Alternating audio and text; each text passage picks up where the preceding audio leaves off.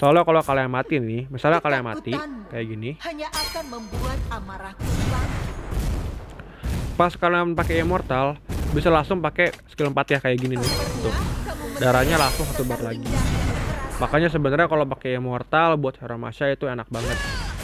Halo brother, apa kabar? Buat kalian yang baru pertama kali datang ke channel ini, gue ucapin selamat datang. Channel gue membahas segala sesuatu mengenai Mobile Legends secara detail. Kalian bisa search dengan menulis apa yang kalian cari, ditambah dengan Lexi YT.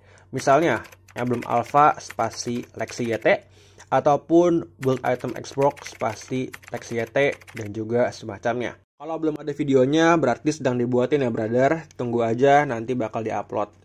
Kalian juga bisa rek di kolom komentar kalau kalian pengen lebih cepat untuk diuploadnya. So, buat kalian yang gak keberatan, silahkan di subscribe dan kita masuk ke intro videonya.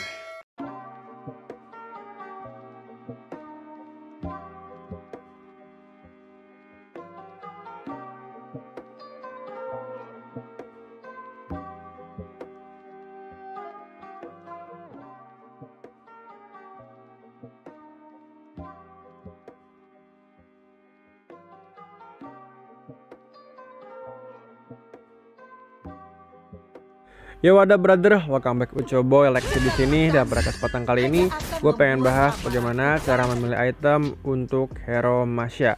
Sebelumnya buat kalian belum tahu bagaimana cara setting emblem untuk hero Masya, udah pernah gue buatin videonya bisa kalian cek, linknya ada di deskripsi.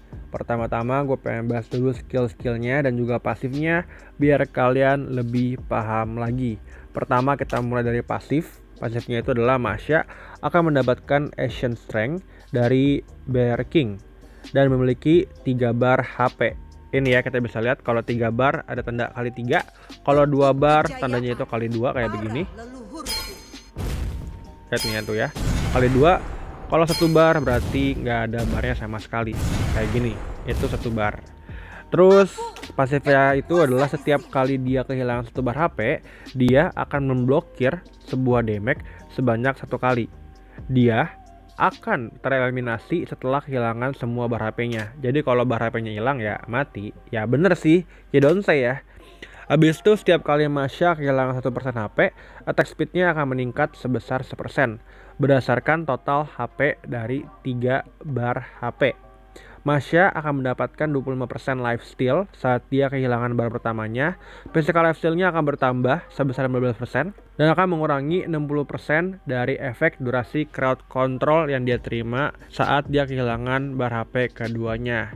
Intinya brothernya ini emang agak ribet. Pokoknya semakin sekarat kalian, attack speed kalian bakal meningkat dan juga kalian bakal mendapatkan yang namanya physical life steal nih kalau bar HP-nya hilang dan crowd control itu bakal dikurangin durasinya sebanyak 60%. Apa itu crowd control? Crowd control itu adalah segala sesuatu yang membuat kalian susah bergerak. Misalnya kayak stun, slow, trepopol, skill stunnya Eudora dan juga semacamnya. Dan terakhir cara untuk menambahkan ininya uh, barnya itu kita tinggal ngehit aja baik itu ke hero ataupun ke creep maupun ke minion dan kita akan mendapatkan 8 energi dan juga 3 energi. 3 energi kalau ke minion, 8 energi kalau ke hewan ataupun ke hero. Panjang ya, iya panjang banget. Terus ada ininya nih, ada skill keempatnya, yaitu adalah life recovery. Masya akan menggunakan seluruh energinya memulihkan HP setara dengan satu bar. Kemudian kalau dia berada di bar HP ketiga, dia akan memulihkan seluruh HP-nya pas pakai skill keempatnya. Skill ini tidak tersedia dalam mode bertarung. Jadi lu harus pergi dulu nggak boleh kena hit, nggak boleh berantem dulu, nggak boleh perang dulu, baru kalian bisa pakai skill keempatnya. Saat menggunakan skill ini, Masya akan menjadi tak terkalahkan. Nah ini bohong ya brother, nggak ada ceritanya sebuah hero yang pakai skill itu nggak terkalahkan. itu pasti terkalahkan kalau memang kalah. Kayak gitu ya brother. Cara pakainya tinggal kalian pakai aja, habis itu kalian barnya bakal penuh. Cara ngumpulinnya tinggal kalian basic attack ke musuh biar lebih cepat nambahnya. Walaupun kalian nggak basic attack tetap bakal nambah, tapi penambahannya nggak bakal lebih cepat kalau kalian basic attack. Kayak gini ya. Kalian bisa pakai ini skill keempatnya kalau kalian nggak ada tanda kayak begini nih. Kalian bisa lihat nih, tuh. Tanda kayak begini nih, itu kalian nggak bisa pakai. Cuma kalau udah nggak ada tanda kayak begini, lihat nih ya nih. Kalian baru bisa pakai skill keempatnya kayak begini. Tuh.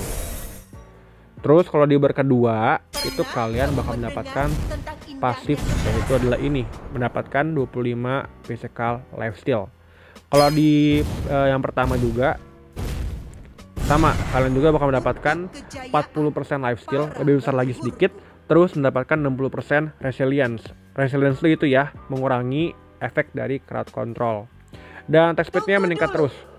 Misalnya kalau kita lihat nih, kalau kita dua bar attack speednya kayak gini kalau satu bar attack speednya bakal lebih cepat lagi kita bisa lihat ya attack speed kita sekarang 1,38 kalau satu bar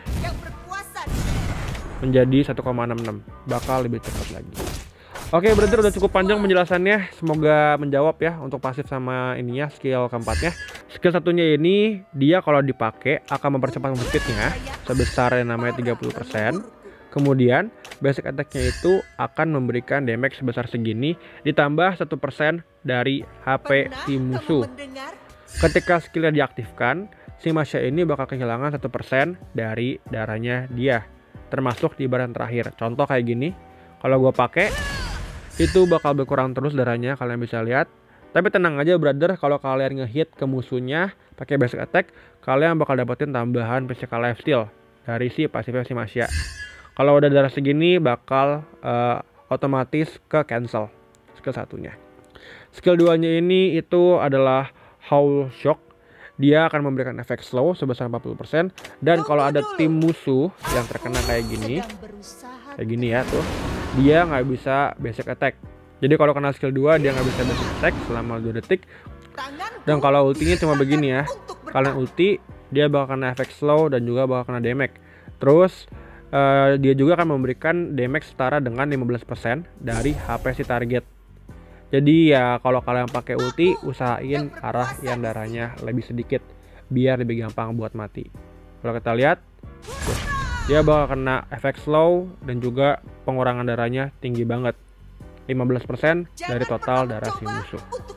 Oke kayak gitu ya untuk penjelasan skill-skillnya Sekarang gue bakal bahas item buat si Hero Masya Di awal-awal biasanya gue beli sepatu terlebih dahulu Sepatu yang gue pakai itu adalah Swift Boots. Kenapa Swift Boots? Karena semakin tinggi attack speed kita Maka kita basic attack-nya bakal lebih cepat lagi.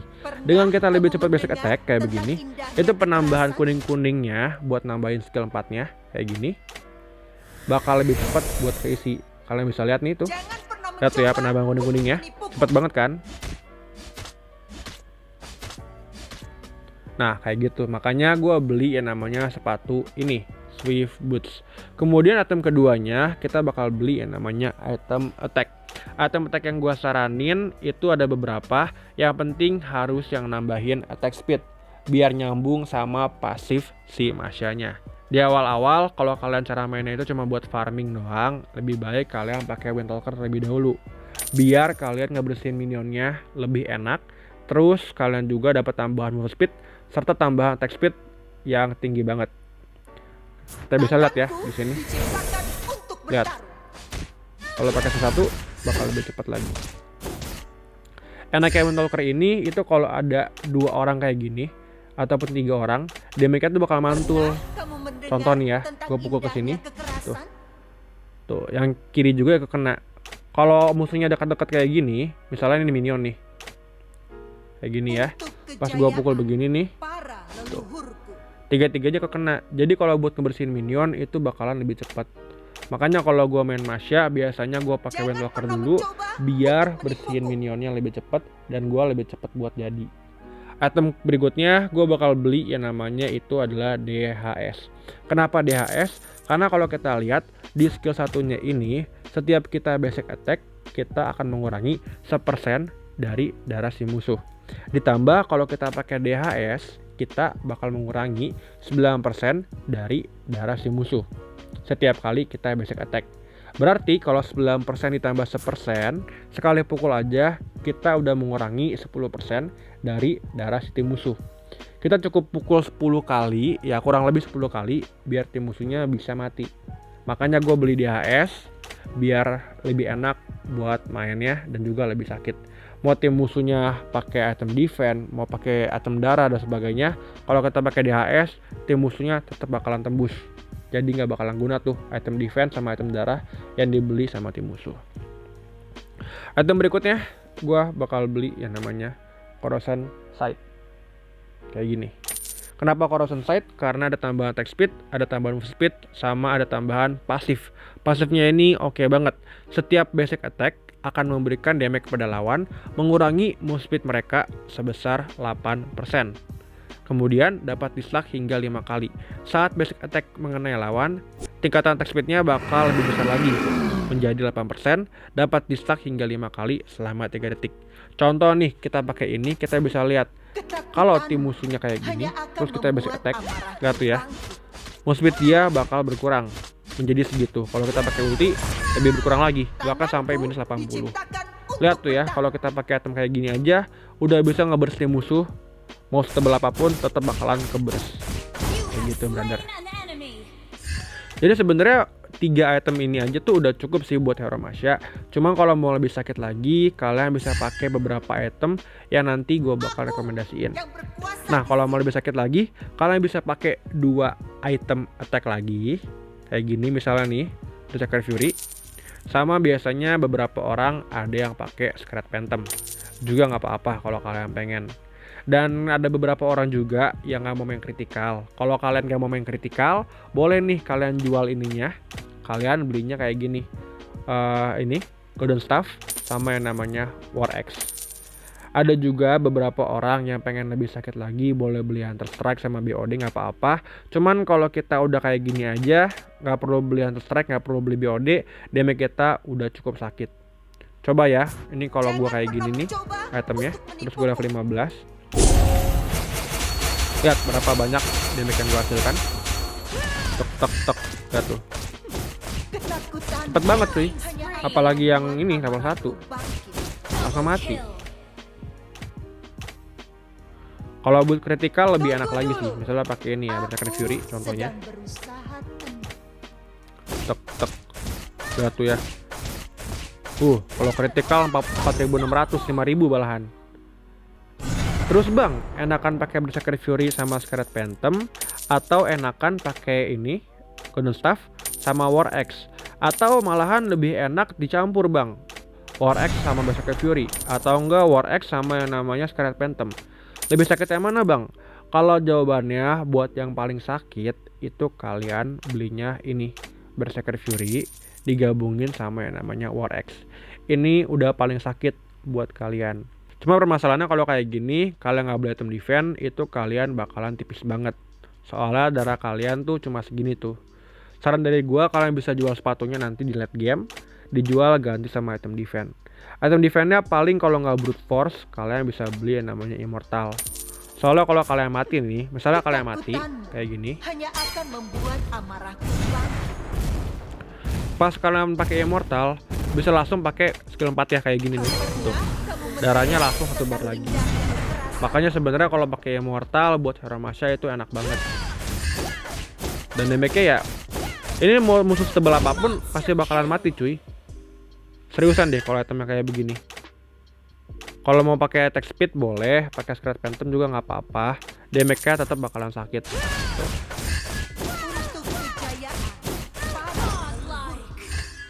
Jadi ya kalau kalian pengen main Masya sebenarnya item wajibnya itu pakai Windtalker, pakai DHS, sama pakai yang namanya Corrosion Sight. Kenapa tiga item ini? Pertama, attack speednya tinggi. Kedua, DHS ini nyambung sama skill satunya si Masya. Terus kenapa Corrosion Sight? Karena Corrosion Sight ini punya efek slow. Yang di mana efek slow ini nyambung sama skill 2 sama juga ultinya si Masya. Jadi sebenarnya tiga item ini, Wind Talker, terus Demon Hunter Shoes, eh Demon Hunter Sword dan juga yang namanya Corazon Sight itu nyambung tuh sama skill dan pasifnya si Masya. Wind Talker ini buat tambahan attack speed sama tambahan move speed. Jadi misalnya nih ada orang yang kabur nih kayak gini ya, nah, patrolling bot deh. Kita nggak usah beli ini deh, karena terlalu sakit kan. Eh mana deh? Jual dulu. Tinggal kalian skill 2 tuh. Terus kalian ulti dia udah nggak bakal kabur tuh. Lihat tuh kena slow banget kan. Sedangkan pas kalian mukul kayak gini tuh lari kalian tuh cepet banget. Jadi mau tim musuhnya kabur selama kalian one by one seharusnya menang Cuma kalau dirembuk ya nggak bisa bro. Masya ini bener-bener hero yang one by one banget. Kalau buat dua lawan satu ya buat menangnya agak susah lah. Cuma kalau buat one by one bisa. Dua lawan satu masih bisa. Kalau tiga lawan satu kayaknya mendingan kalian cari yang belakang-belakangnya aja. Incer yang damage-nya sakit. Habis itu kalian solo killin. Kayak gitu sih. Soalnya memang sakit cuy. Kayak gini kan. Tuh, kena slow, kita pukul-pukul kena slow lagi. Nggak bisa kabur. Sedangkan kita tambahan move speednya dari sini, dari skill kita juga, dan dari pasifnya. Otomatis kalau kita move speednya tinggi, ada efek slow juga, tim musuh itu nggak bisa buat kabur. Dan kita kalau mau kabur tinggal pakai skill satunya, kayak gini misalnya nih ya, ada tim musuh nih mau ngejar kita. Kayak gini. Ya pas dia ngejar kita, kita pakai skill 2, habis itu skill 1 kabur. Tuh dia kena slow tuh. Kalau udah kena slow kita pakai skill 1, dan itemnya kayak begini, dia nggak bakalan bisa ngejar. apalagi kalau beli sepatu ya bakalan lebih cepat lagi. Kayak gitu sih. Terus bang tips dan triknya gimana buat pakai hero Masya nah kalau pakai hero Masya sebenarnya kalian tuh bisa ngebait pakai skill 4 ini nih. Jangan pernah Kayak gini. untuk menipuku. skill 4 bisa kalian pakai buat ngebait. Ngebaitnya itu gimana? Ngebaitnya itu jadi gini pasti musuh mau ngeluarin skill yang nyebabin kalian kena stun, kena slow ataupun kena apa pun, kalian bisa pakai nih skill akan 4-nya membuat dan kalian bakalan immune terhadap skill tersebut ataupun damage tersebut. Gue contohin deh. Misalnya gue pukul nih, ini kan udah penuh nih bar kuning gua. Pas bar kuning gua, kalian tuh jangan langsung pakai. Kalian pakai pasti musuhnya nyerang ke kalian. Kayak gini nih kalau kalian lihat nih ya. Tuh. Itu kan eh, nggak bisa kepake nih. Pasti musuhnya mau nyerang nih, lihat towernya gua. Towernya kamu nyerang ke gua. Pas menyerang kalian pakai itu. Gak kena damage kan? Iya, karena itu pasif dari si skill 4-nya. kejayaan para usahain kalau kalian pakai skill 4 itu buat ngebait dulu nih gua ulang lagi ya nih pas dia ngedamage kalian langsung pencet skill 4 ya contoh. Tuh. Tuh kan? gak kena damage kitanya dari tim musuh bahkan darah kita nambah dari awalnya itu misalnya setengah nih ya kita taruh darah kita dua bar deh ya Jangan dua bar satu bar deh satu bar. Hmm, satu bar ya terus gua basic attack lihat nih seret langsung pakai tuh Darah gue bukan yang ngurang tapi malah nambah. Tapi bener-bener timingnya harus tepat. Kalau timingnya nggak tepat ya udah kalian bakalan gagal dan ya udah bisa gampang banget buat mati. Jadi ya sering-sering aja pakai Masya biar bisa ngepas tuh skill-skillnya. Oke berarti jadi segitu aja buat item kali ini. Kalau dari gue biasanya gue pakai ini sama ini buat damage yang paling sakit. Cuma kalau kalian pengen lebih tebel lagi nggak apa-apa, kalian bisa beli dua item defense, yang lainnya nggak apa-apa juga. Misalnya brute force sama Athena kayak gini. Eh sorry, Athena kayak gini sama pakai immortal juga nggak apa-apa. Soalnya dengan tiga item ini aja damage kalian udah cukup sakit, tinggal keluar masuknya aja. Jangan terlalu barbar, lihat kondisi. Kalau bisa masuk ya masuk, kalau nggak bisa cari lagi momen. Kita lihat ya walaupun kita pakai tiga item ini aja ya udah cukup sakit cuy. Tapi memang attack speednya masih kurang ya kalau begini. Bisa kalian tambahin pakai eh, yang namanya Scarlet Phantom kalau mau. Cuma kalau bagi gua segini aja udah cukup banget cuy seriusan.